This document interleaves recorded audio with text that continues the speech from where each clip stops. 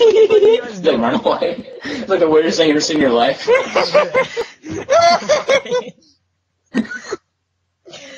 don't know what the fuck you guys are doing.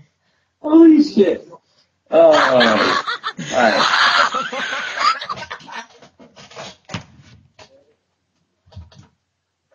I'm gonna throw up, dude. This is the first thing I've ever seen. if I saw that, dude. Oh I'm not even sure if I'd be scared or I'd be laughing. What's up, YouTube? This is United Idiots. this is Idiot's topic. Woohoo! What's up, guys? It hurts so bad. We are United Idiots. That is Cameron. That is Mason. I am Eli, and that is one of our newest friends, Sarah. See, she goes to school with Mason. They're really close pals. And today, we are talking about a subject not a lot of people, but it's getting more popular, but not a lot of people know about it. And it's called lucid dreaming.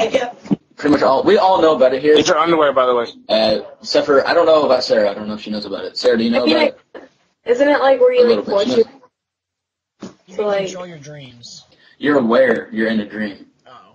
But like, that's, that's pretty much what lucid dreaming is, but then people use that and they control their dreams.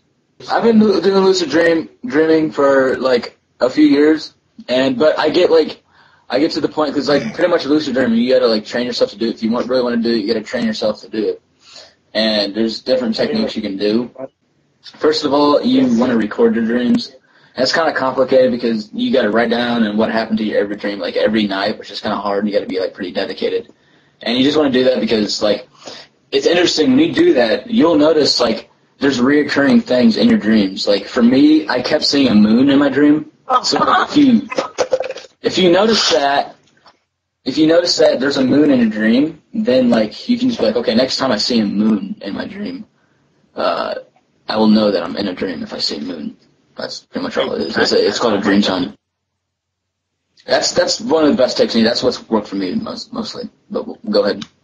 What I did is like before I went to bed, I put like what worked for me because I got to work a whole bunch. Like I'd put a remote in my hand and I'd go to bed and I'd do that every night.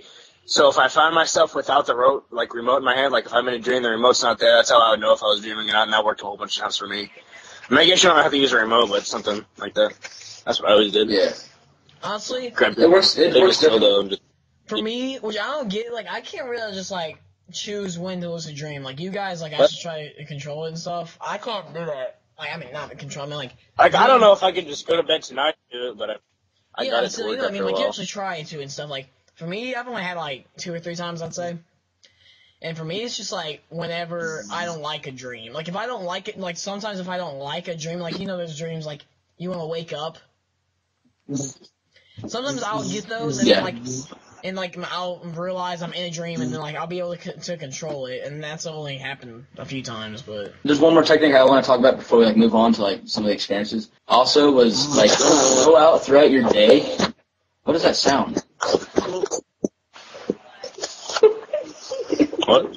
I go out through my uh, throughout my day and just like ask myself if like I'm in a dream right now. I'm just like, okay, am I in a dream right now? I, obviously I'm not, but you just want you want to do that because like I've I've never like, done it. I've done it like one time. It like worked one time, but like you'll be in your dream and then like in your dream you're like some creepy ass walking.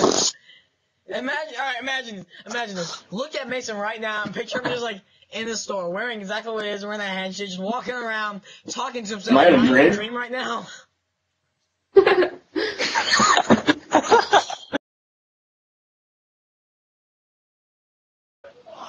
Wait, Oh, wait. How did that one kid do it? It's like, Even that, wait, how, just, how did you do it? I even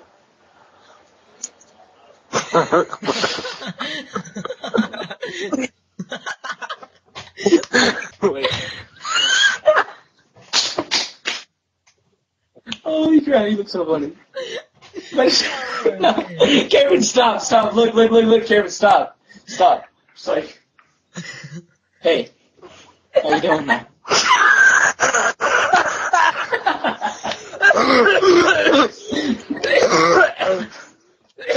no! My heart! what are you doing? I'm gonna puke. You can't make me laugh like Oh god, I want to kill Cameron. Oh God! Like, for a second, I was like really happy I made you laugh really hard, and then I got started getting worried because you sound like you're dying. Mason, do it again. Hey guys, I'm Mason, and this was the idiot's topic, and that was how to have a lucid dream. So we'll see you next week. And that is Eli, Sarah, and that's Cameron. I don't know what happened. Uh, something something changed.